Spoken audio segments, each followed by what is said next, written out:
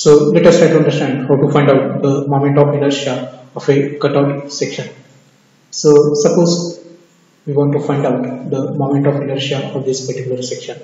So here we have shown a rectangle of width 200 mm and depth 300 mm and a circle of diameter 150 mm is cut out from this and we have to find out the moment of inertia of this remaining portion over here. So we'll take this bottom as a reference and first we'll calculate y bar.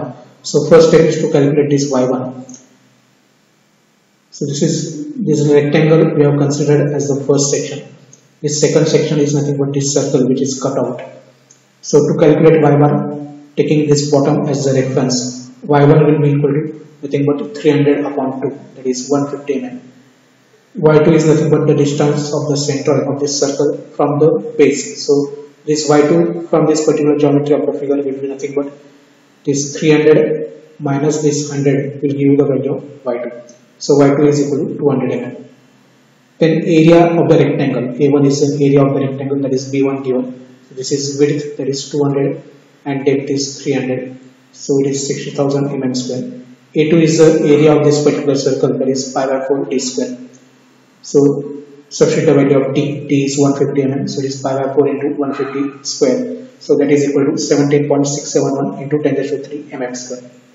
And now we can easily calculate the y bar of the cutout section. So from the first section, we have cut out this second section. So it is a1 y1 minus a2 y2 divided by a1 minus a2.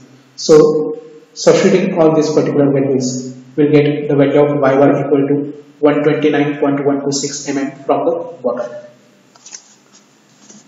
Now we have to calculate the Ixx in this particular case. So to calculate Ixx, consider y bar. y bar is nothing but what? It is 129.126. y1, y2, these are the values. So find out the radius of gyration. So it is mod of y bar minus y1. k2 is equal to mod of y bar minus y2. Ixx1 is the moment of inertia of the first section that is nothing but a rectangle of the width 200 mm that is b1 is 200 mm and depth is 300 mm. So applying the parallel axis theorem it is 1 by 12 b1 d1 cube plus a1 k1 square. So substitute the value of b1 b1 is 200 d1 is 300 a1 is 60,000 and k1 is 20.874 as we have calculated earlier over here. So we get the value of Ixx1 as 476.143 into 10 to 6. Similarly, Ixx2 is moment of inertia of this second section, that is the circle which we have cut out from the rectangle. And according to the parallel axis theorem, it is the moment of inertia of a circle is given by pi by 64 t raised to 4 plus a2 a2 square. Value of diameter is 150 and a2 and k2 already we have calculated. So just substitute all these values and you will get the value of Ixx2 as 113.614 into 10 raised to 6.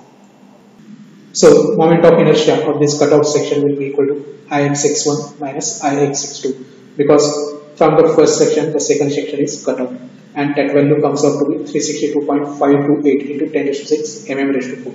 So in this way we can calculate the moment of inertia of the cutout section. Thank you very much for watching the video. Do subscribe to our channel. Thank you very much.